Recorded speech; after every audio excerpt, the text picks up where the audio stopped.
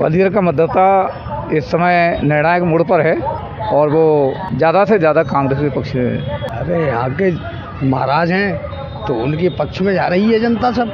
रामलहर चल रही है महाराज यहाँ तो। नमस्कार दोस्तों पुनीत हूँ अमर उजाला से। हम इस समय गांधी पार्क में खड़े हैं जो ग्वालियर में है। ग्वालियर जो सिंधिया राजवंश की कभी राजधानी रही है माधव राव सिंधिया यहाँ से पाँच बार सांसद रह चुके हैं। अटल जी ने भी अपनी सियासत की शुरुआत भी ग्वालियर से ही की थी। यानी कि ग्वालियर लोकसभा सीट पर सिंधिया परिवार का बड़ा प्रभाव है। हमने यहाँ जब देखा तो यहाँ आमतौर पर जो अभी चीज़ निकल के आई है, उसमें लोगों का कहना है कि चुनाव कांग्रेस और भाजपा के बीच में ही होगा। लोगों का कहना है कि क्योंकि भाजपा सत्ता में थी और भाजपा के खिलाफ भी लोगों का मत है, लोगों का कहना है कि यहाँ बेरोजगारी बढ़ी है। जिस प्रकार से विकास होना चाहिए था उस प्रकार विकास नहीं हुआ है। वहीं जो भाजपा को करीब से जानने वाले लोग हैं, उनका कहना है कि भाजपा ने काफ़ी विकास किया है, चाहे देश हो, चाहे विदेश हो, वहाँ तक भारत का परचम लहराया है। तो हम लोगों से ही पूछते हैं कि आखिर जो ग्वालियर है, वो ग्वालियर का मूड इस बार क्या है? ग्वालियर का जो वोट है, ग्वालियर का जो मतदाता है, वो किधर की तरफ़ रुझान कर रहा है, ये हम लोग जानने की कोशिश करेंगे। जी, आप बताइए। ग्वालियर का मतदाता इस समय निर्णायक मोड़ पर है। और वो ज़्यादा से ज़्यादा कांग्रेस के पक्ष में मतदान करेगा। भाजपा से किस बात की नाराज़गी है? नाराज़गी भाजपा से नाराज़गी का मतलब तो पूरे देश में ही आपको मालूम है कि जो घोषणाएँ होती हैं जिसको भाजपा को लोग देख रहे थे कि भाजपा आएगी और हमारे यहाँ तमाम तरह की खुशियाँ आएँगी।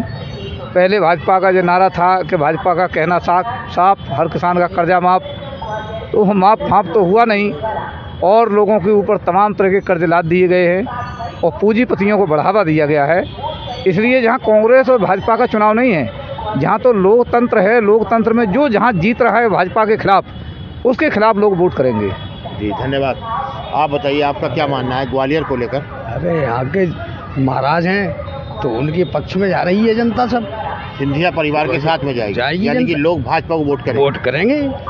आप बताइए आपका क्या मानना है? ग्वालियर में क्या मूड है मतदाताओं का? ग्वालियर की तो महाराज राम लहर चल रही है महाराज यहाँ तो। हाँ। राम लहर है। राम लहर है। मोदी लहर है। मोदी लहर है। बहुत बढ़िया। हाँ महाराज। आप बताइए। ग्वालियर में तो मोदी को ही वोट दिया जा रहा है भाजपा की भाजपा को।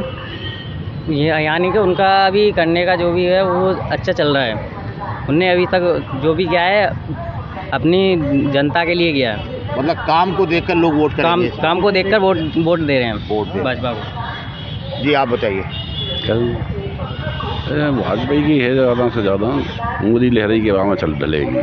मतलब प्रत्याशी को नहीं है मोदी लहर में लोग लहर में जाएगी प्रत्याशी प्रत्याशी से कोई हो लड़ाई लेकिन प्रत्याशी से चुनाव मतलब नहीं है जो मोदी की लहर चली हुई है लहर लोग उधर वोट करेंगे बस बस है जी आपका क्या मानना है? बिल्कुल सही बात है मोदी की लहरें चलेगी ऐसा क्या काम किया मोदी जी ने जो लोग बहुत कुछ किया था यहाँ पे। जैसे? ये किया है सब गरीबों को लिए और दे रहा खाना पीने को और उनके पक्ष में हमारे शुरू से मानवराव संघ में।